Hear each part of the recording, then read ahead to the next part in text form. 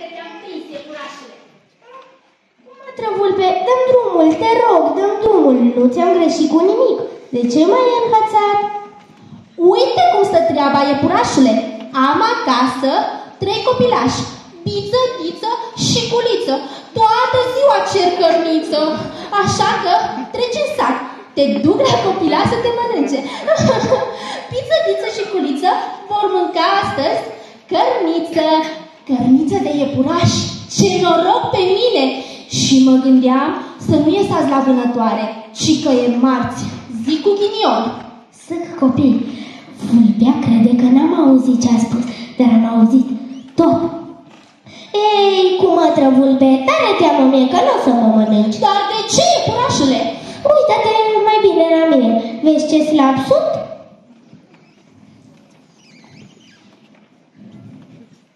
Ei, na, vă că răspine, mă, iepurașule. Ba mi se pare că ești chiar pufos. Nu gras, doar pufos. Nu, cum mă trăvulpe. M-am spălat azi pe blăniță și e umflată. Uită-te mai bine la mine. Vezi ce slab sunt?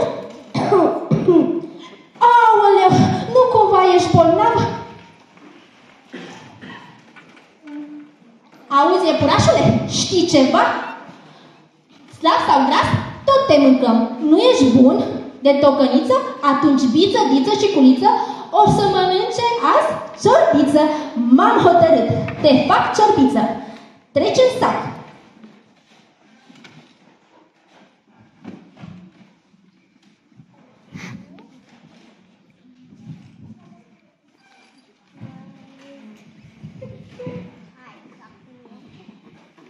Te duc acasă. Biță, diță și culiță vor mânca astăzi ciorbiță. Le aduc un iepuraș să-l punem în castronaș. Ah, da, da, da, da, da, da, le aduc un iepuraș. Da, da, da, da, da, da, să-l punem în castronaș. Dar unde mă duci? Ei, acasă la mine, bineînțeles, auzi ce întrebare.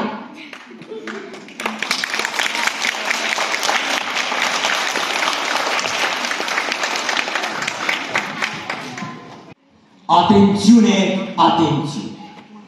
Mare gălăgie s-a iscat în pădure. Ursul mormâie supărat. De ce? Aseară, din cămara lui, s-a furat un borcan de dulceață cu smeu.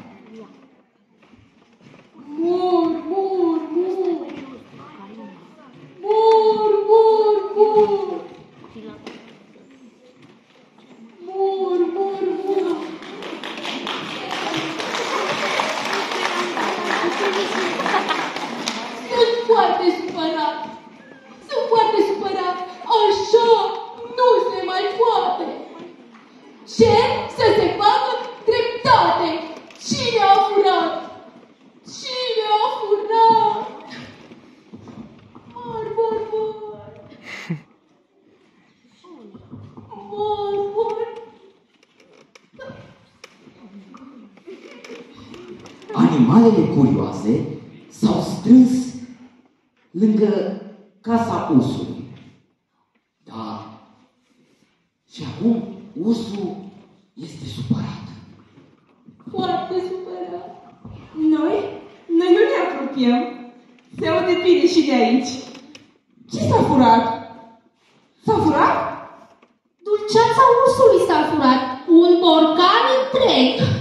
Oare cine, oare cine a fost mai viclean ca mine? Liniște, gata. A sosit locul polițistul pădurii. El va găsi hoțul.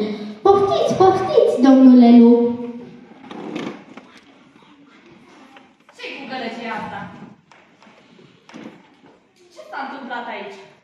Bun, bun, bun. Domnule nu, mi-a dispărut borcanul cu dulceață. Un borcan de dulceață de zmeu. Un, un să te ieși pe bot.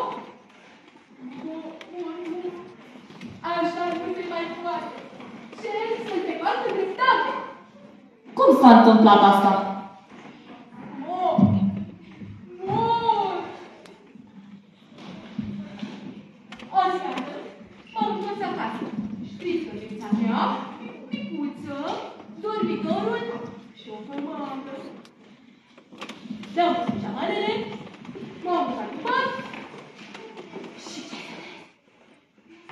Apar că aud pași. Pali, pali, pali, pali, pali. Vai! Vai! Vai! Ce întâmplare! Lipa, lipa e indiciul. Cine o fi oțul oare? Ah, lipa, lipa, lipa, lipa, da, da, da, exact așa, exact așa.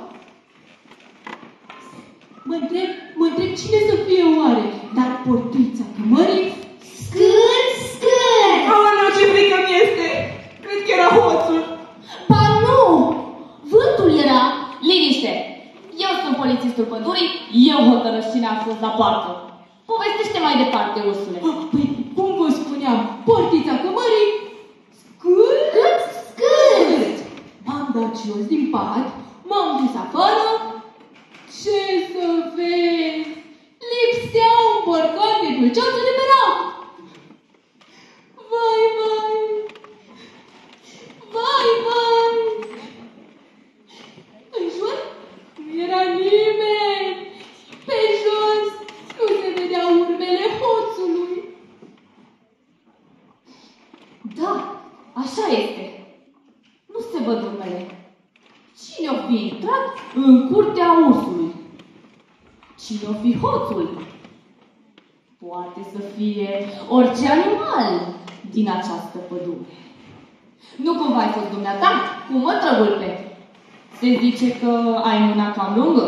Vai, ce urât! N-am furat nimic niciodată! Zău!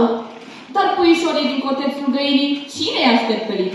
A, pui, ce să fac dacă s-au luat după mine? Voiau să se joace, poate s-au pierdut din pădure. Nu i-am văzut, zău! Vulpă, mergi la portiță, deschide-o, intră în curte, ia un borcan și adu aici, să vedem. Nu cumva tu ești hoțul? Iar voi, ceilalți, șș, faceți liniște, să putem auzi pașii.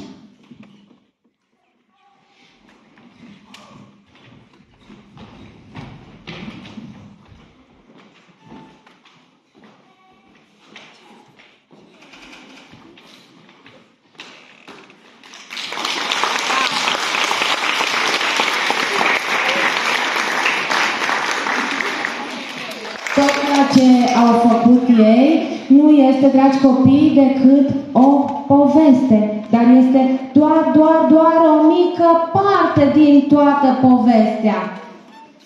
Știți lumea poveștilor? Nu? Oare n-am citit niciodată poveste? Dar un autor de poveste ați cunoscut? Ei, astăzi este o zi specială și pe lângă faptul că, uite, avem foarte, foarte multe cărți pe scenă, pe lângă micii noștri actori, avem alături de noi și doamna care a scris toate aceste cărți pe care le vedeți aici și multe altele. Sunteți curioși să o cunoaștem? Haideți să o cunoaștem. Doamna se numește Irene Postolache și a venit astăzi la Cugiri cu multe, multe cărți. O primim cu aplauze așa călduros, că e o doamnă tare, tare drăguță. Bună ziua, dragilor! Bine v-am găsit! Mă bucur să vin astăzi la voi cu câteva dintre cărțile de povești pe care le-am scris eu. Pentru că vă spun un secret, așa la noi. Sunt 11. Cea de-a 11 trebuie să apară chiar zilele acestea. Ia să vedem despre ce discutăm. Despre petrișori și bănuții de aur. Sau o altă carte care se numește Baba Hoața. Sau știți unde erau aceste, această scenetă unde se găsea în cartea de teatru pentru copii care se numește cine hoțul? Unde mai puteți întâlni și alte scenete. Deci, dacă vreți să vă distrați, vreți să faceți teatru, puteți să apelați cu încredere la această carte. Ia să vedem ce cărți mai avem aici. Avem cartea Baba Hoața. să o răscoim puțin, ia să vedem ce spune aici. Chiar la început, la început. Undeva, aproape de capătul lumii, se găsea cea mai veselă țară care a existat vreodată. Țara Ha-Ha. Oamenii nu aveau griji, erau mereu bine dispuși. Când se întâlneau pe stradă și ridicau pălăriile, pentru că purtau neapărat pălării. Fie soare, fie ploaie, se salutau aplecându-se, zâmbeau cu gura până la urechi, primul sălta pălăria și spunea, ha! Iar celălalt răspundea, ha, ha! Atunci când se întâlnea împăratul țării cu fiul lui, toată suflarea asculta salutul și număra în gând câți de ha se aud. Și se auzeau. Ha, ha, ha, ha, ha. O groază de cap.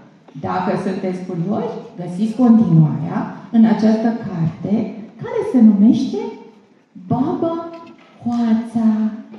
Mai avem și altfel de cărți. Mai există cărți de o poveste pentru copii mai mici. După cum observați, sunt foarte frumos ilustrate de către o zână a poveștilor care se numește Anda Toma și care a ilustrat majoritatea acestor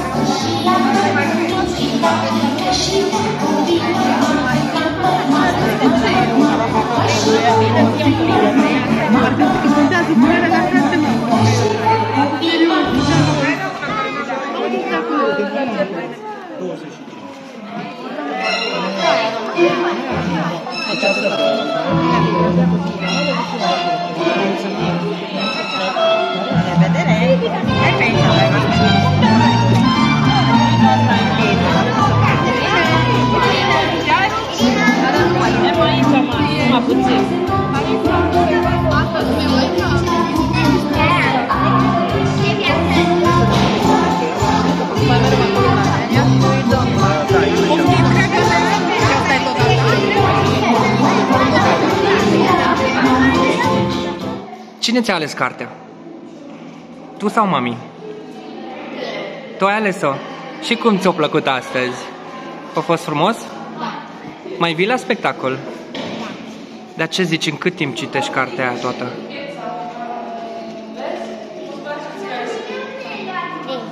În trei zile? Așa repede? Deci îți place tare mult, da? Ce carte e acolo? O super extra mega bilă. În cât timp citești cartea asta? Nu știi? Păi gândește-te, cam cât timp? Câteva zile? Mami mi-a citește. Ți-o citește mami? Cum ți-a plăcut astăzi? Mi-a plăcut. Am văzut că ai fost și pe scenă și ai fost tare frumoasă. Mai facem spectacole de astea, da? Aș vrea să-mi spuneți, vă rog, două cuvinte despre evenimentul uh, organizat astăzi la Centrul Cultural Cugir. A fost uh, extraordinar. Am găsit uh, o sală plină de părinți și copii. Am găsit uh, copii foarte, foarte talentați care m-au impresionat extraordinar de mult. M-a impresionat cel mai mult, m-a impresionat trupa, trupa de teatru a Centrului Cultural din Culcier. Și nu pot să nu amintesc și pe tinerii interpreți de la Mlădițe cu Girene, Uh, am apreciat extraordinar de mult. Uh, copiii s-au străduit să pună în scenă anumite povești din uh, cartea mea de teatru pentru copii, ceea ce a fost impresionant, ținând cont de uh, durata atât de scurtă în care au avut contact cu această carte. Este o carte nouă apărută și în care au avut timp să se pregătească. Felicitări lor! La capitolul cărților dumneavoastră, câte cărți sunt în momentul de față scrise de dumneavoastră? Uh, 11 cărți. Uh, am început cu Petrișor, am continuat cu Baba Hoața, cu Aiurilă, apoi au urmat cărți de o poveste, apoi a urmat pregătitoarea, carte pentru pregătitoare, o adevărată provocare. Uh, ca aproape de final, uh, cartea 10 să fie Cinei Hoțul, iar uh, cartea 11 în curs de apariție, din păcate încă n-am văzut-o fizic, dar am discutat despre ea, care este apărută la editura Junimea, se numește Un iepuraș cât o lingură de mare. Cartea Cinei Hoțu este editată de către editura Creator. Cum a reacționat publicul astăzi? În prezența dumneavoastră? a fost entuziast, a fost cald. Uh, mi-a făcut mare plăcere să le citesc uh, fragmente din uh, diverse cărți și am văzut că au reacționat cu foarte multă curiozitate și mă bucur că există dragostea pentru lectură. La vârsta aceasta ea este normală, este o curiozitate a copiilor de a descoperi lumea cărților, ceea ce trebuie să ne bucure și nu poate decât să ne bucure. Este prima dată când veniți la Cugir. Este prima dată când vin la Cugir, este prima dată când vin în partea aceasta de țară. Am uh, foarte multe invitații, dar în alte, în alte zone din, uh, din țară. Dar m-am bucurat tare mult să vă găsesc atât de calzi și de primitori uh, și trebuie să recunosc că m-am simțit extraordinar aici. Deci asta ar însemna că putem să facem o promisiune publică de reîntoarcere în orașul nostru. O, cu drag.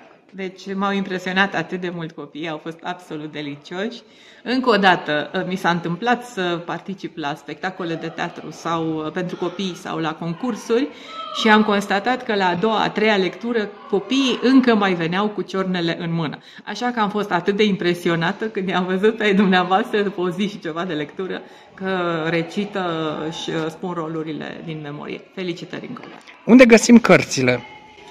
Aproape toate cărțile mele se găsesc pe cea mai mare librărie online, Libris. Acolo se poate face comanda și cărțile ajung rapid, rapid acasă. Unele au și autograf, altele au semne de carte. Unele vin cu uh, uh, tot felul de promoții, deci uh, doritorii le pot găsi acolo, inclusiv pe ultima, care o să apară săptămâna următoare. O lume minunată în care veți găsi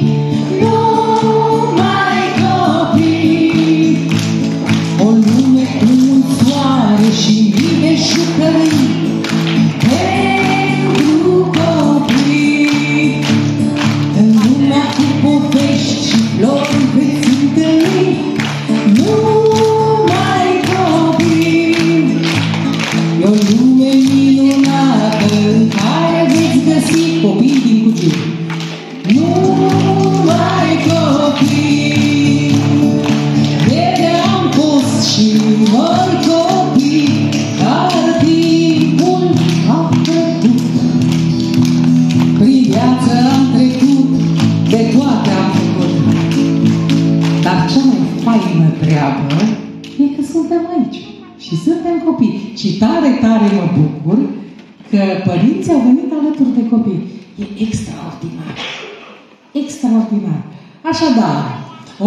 lume minunată în care veți găsi și părinți și copii. O lume cu mult soare și multe poveștiri pentru